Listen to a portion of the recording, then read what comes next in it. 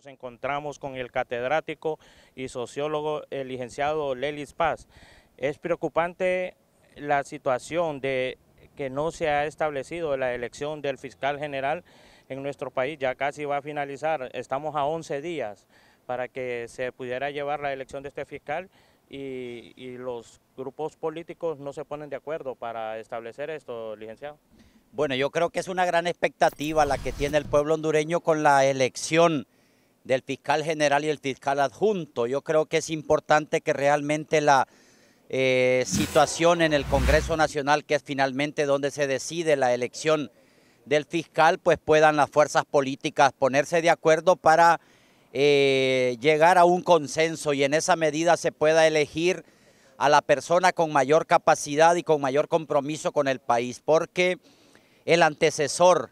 eh, lamentablemente ha dejado mucho que desear en la eh, ejecución de la actividad penal y por ende implica ¿no? una situación de desfase en temas de eh, la persecución del delito, porque recordemos que es la fiscalía la que en este caso demanda, prosigue y en ese sentido la población hondureña necesita más que sean más expeditos, ¿no? El tema y el ejercicio de el fiscal general en este caso que es tan importante para la vida democrática del país. Sabemos que se han estado estableciendo bloques de oposición ciudadana. ¿Qué, ¿Qué, ambiente viene a crear o viene a entorpecer este, esta elección del fiscal general? Bueno, mire, yo creo que el tema de la elección del fiscal general y el adjunto es una atribución del Congreso Nacional. Yo creo que este tipo de movilización en este caso de la oposición, es eh, un mecanismo de cómo ejercer presión para que realmente no se elija un fiscal que realmente tenga compromiso con la justicia y que por ende tenga compromiso con el país.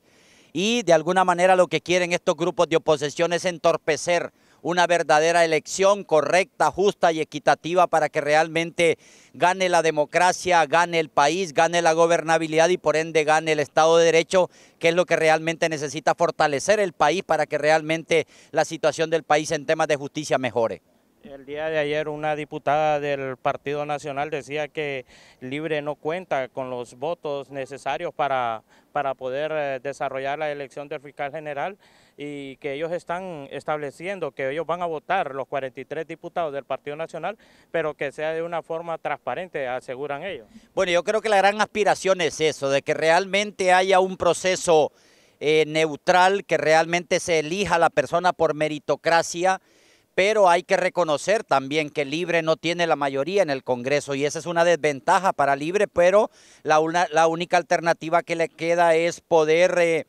eh, conformar una alianza, poder lograr convencer a la oposición o por lo menos a una parte del Partido Liberal y a otros eh, diputados que puedan creer en que realmente el proceso es correcto. El Partido Nacional se va a oponer a todo, ya lo vimos, ya lo demostró, realmente no quieren que se elija fiscal porque quieren que siga el mismo que es una chichincle de las fuerzas oscuras de este país y que lamentablemente tienen el miedo a la persecución del delito.